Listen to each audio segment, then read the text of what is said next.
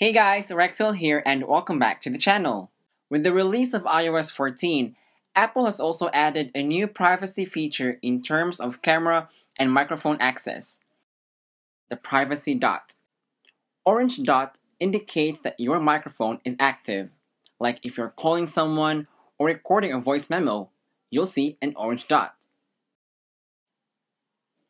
Green dot, on the other hand, indicates that your camera is active, like when you are taking a selfie.